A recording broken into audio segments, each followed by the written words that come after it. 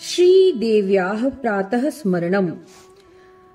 चाञ्चल्यारुणलोचनाञ्चितकृपाम् चन्द्रार्कचूडामणिम् चारुस्मेरमुखाम् चराचर जगत संरक्षिणीम् सत्पदाम् चञ्चचम्पकनासिकाग्रविलसन्मुक्तामणिरञ्जिताम् श्रीशैलस्थलवासिनीम् भगवतीम् श्रीमातरम् भावये।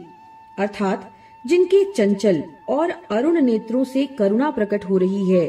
चंद्रमा और सूर्य जिनके मस्तक के आभूषण हैं, जिनका मुख सुंदर मुस्कान से सुशोभित है जो चराचर जगत की रक्षिका हैं, सतपुरुष जिनके विश्राम स्थान हैं, शोभायमान चंपा के समान सुंदर नासिका के अग्रभाग में मोती की बुलाक जिनकी शोभा बढ़ा रही है।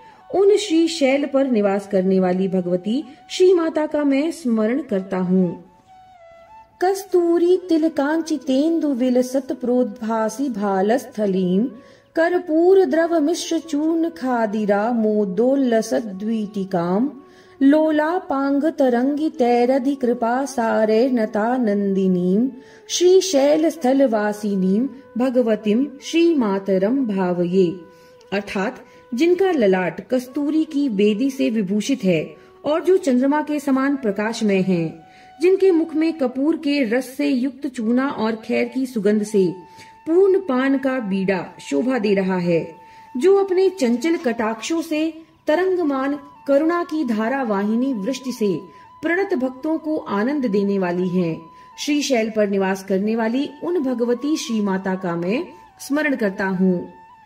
इति श्री देव्या प्रातः स्मरणम।